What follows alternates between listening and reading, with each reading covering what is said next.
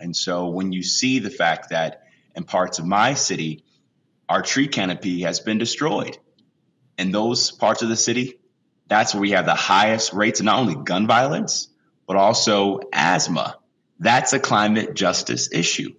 When we have uh, lead paint in our housing stock, which affects the ability of young people who grow up and having learning disabilities, that's a climate justice issue.